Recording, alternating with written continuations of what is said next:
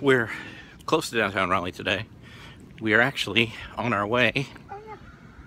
Check this out. Don't know the history of this place. Just happens to be across the street from Let's walk into there. Trophy Brewing, where we had our lunch today. Had some pizza and we had some delicious sour beers. It's the end of Raleigh Beer Week, so they had a whole sour takeover of their taps today. Let's walk in here. That building's closed, buddy. I, I am my head fast.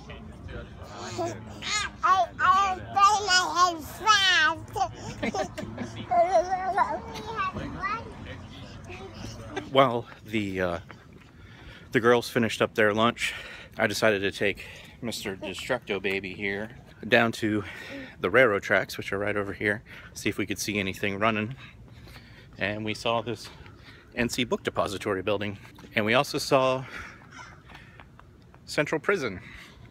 So there's that. This is the track that Amtrak runs on from Raleigh, going in that direction through NC State's campus out to points west of here.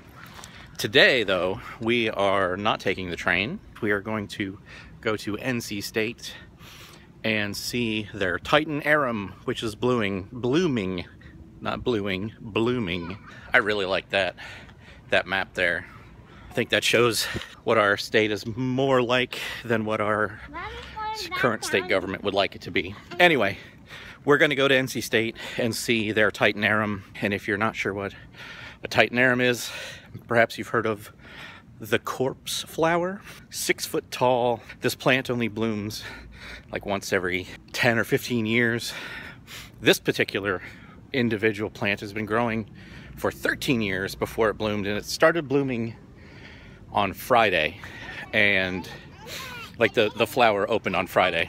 And uh, the flowers only last 36 to 48 hours. NC State has opened their greenhouses yesterday and today for the public to come see. So after church today, we decided to come down and check it out. So we had our lunch and now we're gonna head over to the greenhouse to go see the Titan Arum and the six foot tall carrion flower, corpse flower. And that is the subject of our BAV today. So thank you for coming along. Unfortunately, you're not to enjoy the smells, but I hope you enjoy the sights and the sounds of NC State's Titan Arum Corpse Flower.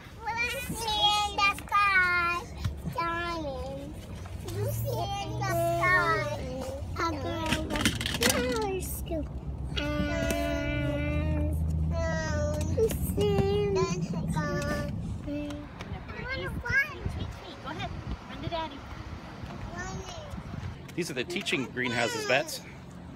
Plants, that's right. Yeah.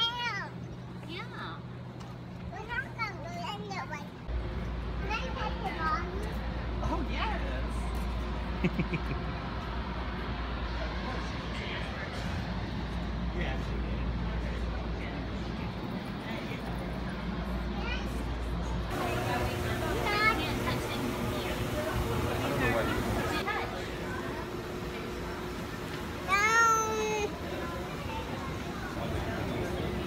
Can't get down, butter. I want you to actually smell it. I want you to tell us what you think it smells like, okay?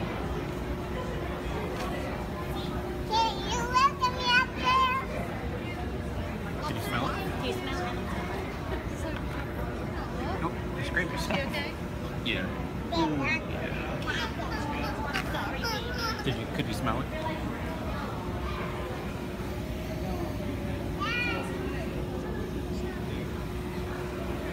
Yeah, that was not a good smell. Did you smell it? No, you couldn't smell it. Did you smell it, Benny? The flower? What was that flower? A corpse flower? A corpse flower? Was its name Lupin? What happened to your knee, buddy? And it's green. That's why I bumped uh, into those blocks. You you bumped into the blocks. Yeah. Do you mean the bricks? Yeah.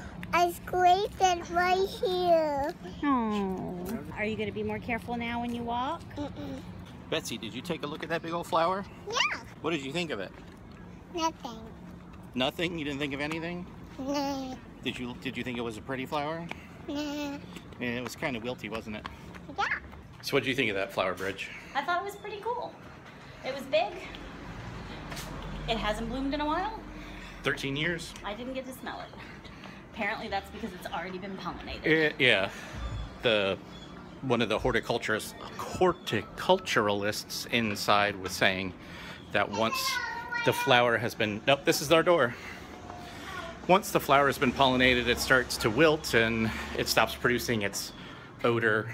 So I don't know if they hand pollinated it or if the flies pollinated it.